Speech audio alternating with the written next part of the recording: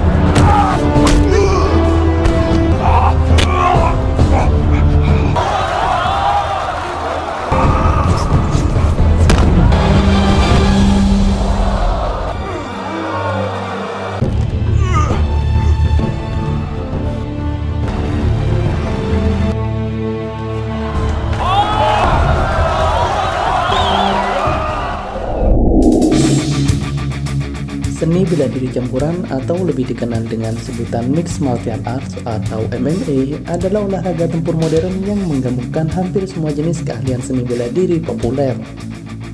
MMA adalah olahraga tempur individu di dalam ring dengan para petarung menggunakan lebih dari satu jenis keahlian bela diri seperti gulat, tinju, muay thai, Brazilian Jiu-Jitsu, dan sebagainya. Meskipun olahraga tempur yang relatif baru, MMA telah menjadi acara olahraga paling banyak disaksikan selain olahraga tinju.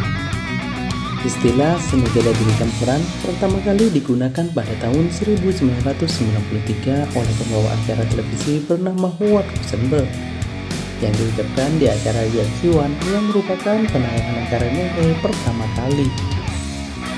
Olahraga MMA diketahui telah ada sejak zaman Yunani kuno dengan sebutan olahraga Pankration. Pankration merupakan sebuah pertandingan olahraga yang diperkenalkan di Yunani dalam Olimpiade pada tahun 648 sebelum Masehi dan merupakan olahraga pertarungan tangan kosong dengan hampir tidak ada aturan. Aturan yang berlaku di Pankration ketika itu adalah tidak boleh menggigit, tidak memukul area selangkangan, dan tidak boleh mencolok mata. Sekarang, olahraga seni bela diri campuran sudah diawasi oleh Badan Pengawas Atletik dan tentunya sudah memiliki berbagai macam aturan tambahan agar petarung tetap aman ketika bertarung. Acara MMA terus berkembang seiring beberapa dekade berlalu hingga 1993 ketika acara MMA global resmi pertama kali yaitu UFC 1 diadakan di Denver, Colorado. Ini adalah tahun kelahiran resmi MMA dan salah satu peristiwa terpenting dalam evolusi olahraga pertarungan MMA.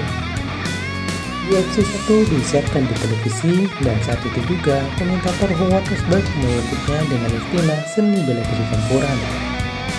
Selama kurang dari 30 tahun, MMA terus berkembang dari televisi lokal dan menjadi populer secara global. Popularitas MMA terus meningkat dan hingga saat ini olahraga MMA belum mencapai puncaknya.